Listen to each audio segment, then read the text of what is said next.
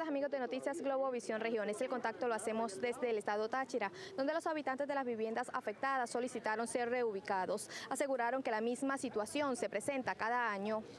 La casa quedó inhabitable. Sinceramente no estamos en que yo sí soy o no soy, yo lo único que necesito es una vivienda. Si, si he votado o no he votado porque he votado, o sea, soy venezolana antes que todo. soy madre soltera. Está agrietada, el piso está levantado, la casa de mi hija se le echa cemento y cemento y cemento y eso se abre.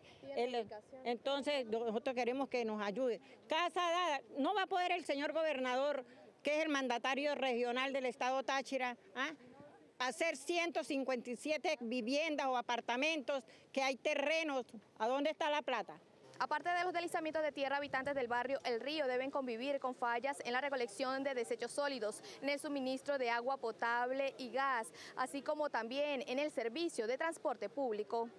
No tenemos agua, no tenemos agua, no tenemos luz, no tenemos transporte, no tenemos gas, no tenemos, aseo, no tenemos nada, hay que tener conciencia. El transporte no, no, tiene acceso, ustedes pueden ver la carretera como está imposibilitada para que llegue algún transporte. Tenemos que caminar dos kilómetros según información suministrada por funcionarios de Protección Civil Táchira, unas mil familias que habitan los cinco sectores que conforman el barrio El Río se encuentran en situación de alto riesgo, no solamente por los deslizamientos de tierra, sino también por inundaciones que se podrían presentar tras el desbordamiento del río Torbes. Desde el estado Táchira, Angie Murillo, Globo Visión.